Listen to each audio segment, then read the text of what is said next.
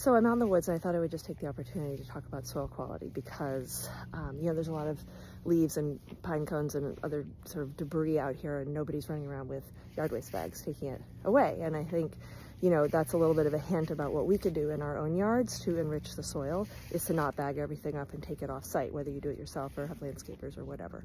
So, you know, spring cleanup is coming up. If you haven't done it already, you know, I encourage you to wait as long as possible. That's for us, it's like mid 50s range. Um, you then can, when you're pruning the perennials, the ones that come up every year, you know, chop, uh, chop up the bits and then put them around the base of the plant. Um, that's called chop and drop. This enriches the soil because it's right there. The plant, you know, covers it up anyway, so you don't need to worry about it. It's less effort. You can feel a little more lazy and relaxed. Um, and you're not trucking stuff in. I always suggest people bring, you know, compost into their soil, but the absolute best thing you can do is create your own essentially. And, you know, um, you're controlling what goes onto your property. Um, you are saving money. It's less that's being trucked around, so it's all good. And I think your plants will be much happier for it. So give it a try if you can. I mean, look at the quality of the soil. Check this out.